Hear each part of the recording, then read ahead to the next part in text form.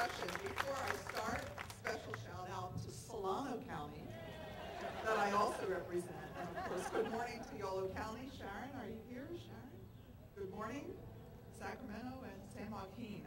Delight, delighted to see you all here actually at this early um, hour.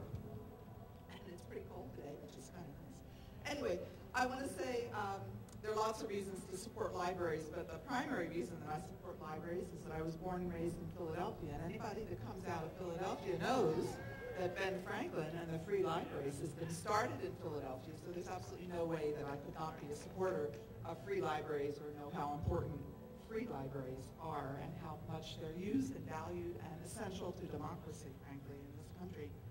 So I'm a definite supporter, and particularly in times like these, I have heard from librarians how much increase in service is going on right now, how many people are at libraries.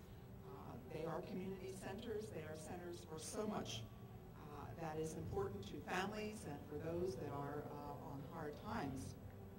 Families who are on tight budgets can save uh, money by checking out books instead of buying them, uh, attending lectures, uh, story times at local public libraries from the youngest to the oldest. Uh, libraries perform an incredible service and all free of charge. Let me talk about some particular things that are happening in my district. Uh, libraries like the Vacaville Public Library in my district are also helping those who are currently unemployed or newly unemployed. Uh, they're being helped to compete in this digital age by their use of the computer and internet access uh, there are workshops on how to use these tools in order to look for job openings, refine their resumes, research, look for jobs. Uh, there are important things that are going on.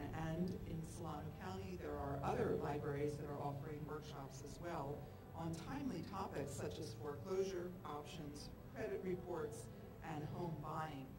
More than 70% of those who use library computers are telling us that it is their primary source for connecting to the internet at a time when public and, public and private employers are requiring applicants to take tests and file employment forms online. So libraries are increasingly important uh, in general in our society, but certainly at times like this.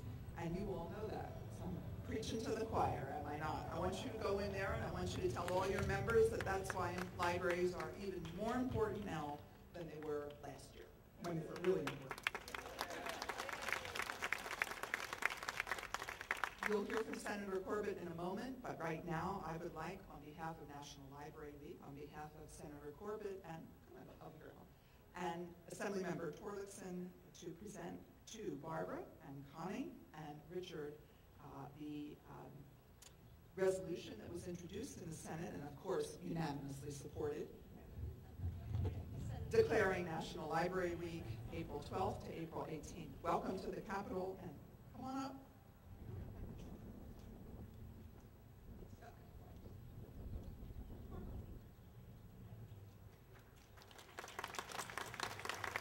work hard today, carry that message